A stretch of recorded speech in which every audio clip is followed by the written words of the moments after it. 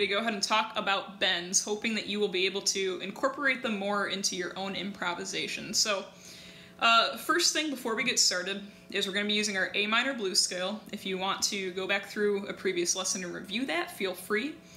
It's really important, since we're moving these scales all over the guitar, to kind of understand where to bend the notes on these scale on the scales in correlation with the scale shape, okay? So like you want to know like this is my A minor blues scale shape. If I bend the notes in these spots, they sound good, all right? And these are just my favorite notes to bend. Everyone has their own, right? So if you find a note that you love bending on the guitar, you love the way it sounds, do that. Totally do that. That's what you should do. Um, but these are just a few of my favorites, hopefully giving you more tools for your own improvisation when you're doing your own solos. So let's start out by just playing our A minor blues scale with our shift and we're just reviewing it at this point. Here we go.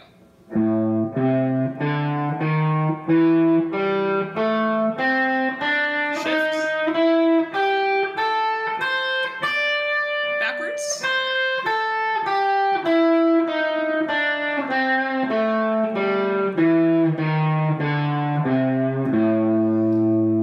So understanding the importance of knowing where to bend the string at in correlation with our shape how we're going to find where we're bending at is we're to play up our scale shape and then we're going to pause at that note. All right. So let's go ahead and begin.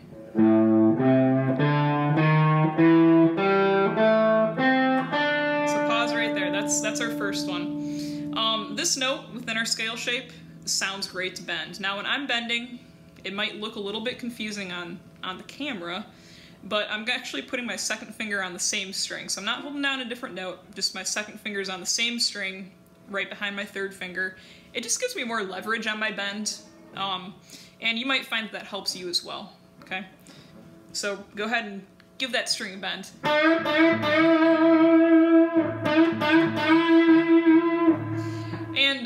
Before I forget to mention, I've got a slight distortion on my guitar. If you've got an electric, feel free to do that as well. Um, acoustic is totally fine as well, but you might find some of the strings in certain spots are harder to bend on acoustic than electric. Yeah, so that's a great note to bend, right? And basically, when we're bending, you can either do a half bend, which is where you're bending it up a half step, or a full bend. I like to bend that one a, full, do a full bend. So we're bending it up a whole step, okay? So our target note is two frets above the note that we're bending. So we're trying to hit that note with our ear, okay? Yeah. So that's the difference. And what's sweet about this note for bending is if you put your first finger on the B string on the fifth fret, okay? You're gonna pick both of these strings, we're still bending the same string. You're gonna pick both of these strings at the same time.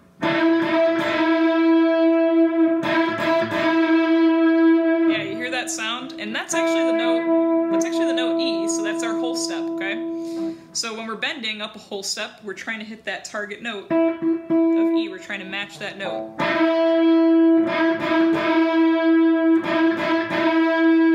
Sounds really cool, right? And you can do a lot of cool things with that.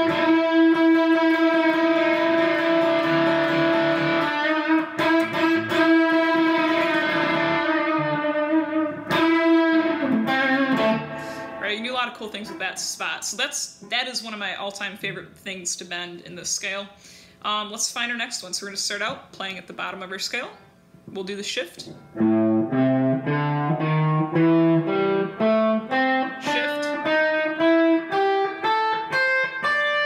And pause right there. Okay. So this is actually the same note we were bending down here, but up an octave. We're playing a D right now. Okay. So same deal. We're just bending that note up a whole step. So we're trying to hear that note with our bend. Yeah.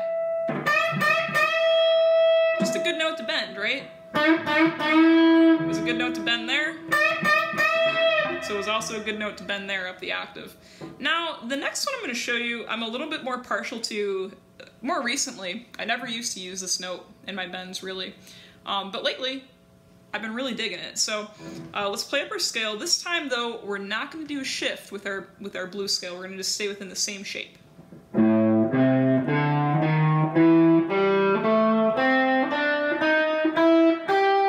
pause right there. This note, I like bending this note. Now, bending with your pinky, it, for me at least, is not very effective. So when I bend this note, my my finger kind of changes. Okay, so I use my third finger to bend this note.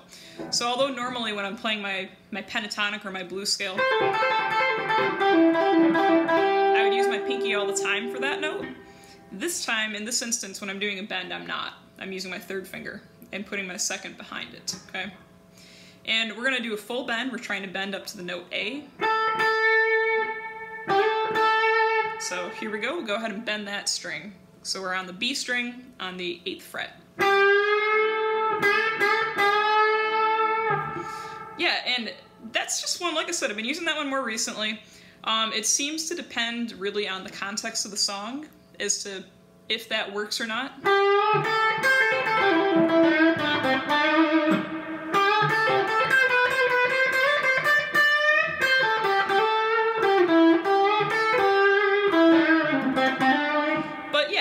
Liking it. I've been really digging it, especially in this instance that I'm going to show you right now. Um, if you put your, so we're going to keep our finger there to bend that same exact note on the B string, on the, the 8th fret. If you put your first finger back on the 5th fret, that's your target note you're going to try to bend to. And just like we picked both of these strings for this one, you're going to do the same for this, okay? A little bit of a stretch here, especially between your first and second finger. But, you know, if you just kind of work at it, you'll get used to it as time goes on. It sounds really cool, right? And that pretty much works all the time, right? I wouldn't overdo that trick. It's, it's definitely more of a guitar trick than anything else.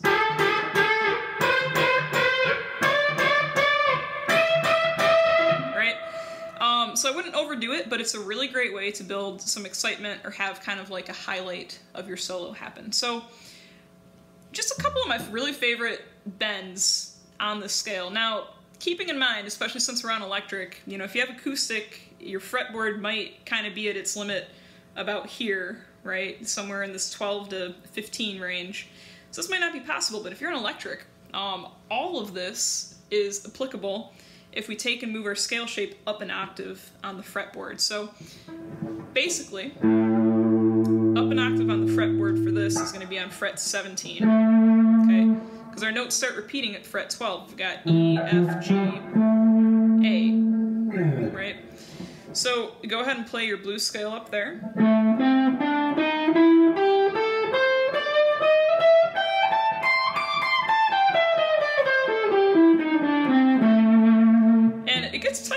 It does. It takes some practice. The spacing is totally different. So if you're if you just kind of move the scale up here for the first time ever today, uh, you'll want to practice just the scale on its own. But our bends work up here too. So if we play up our scale, there's our first favorite note to bend. And if I put my first finger on the B string underneath of it, it sounds really cool, really, really sweet.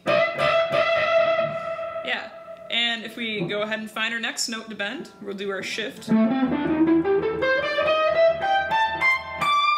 this one you're way up here, so a lot of times I I kind of switch between my second finger and my third finger for bending this one, if I'm all the way at the top of my guitar here. And I'm at my very last fret, so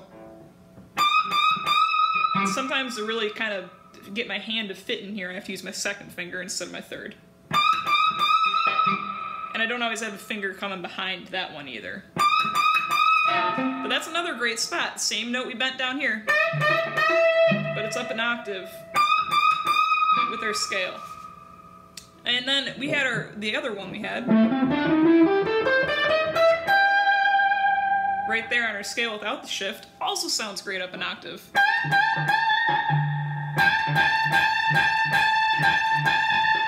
Yeah It just sounds cool.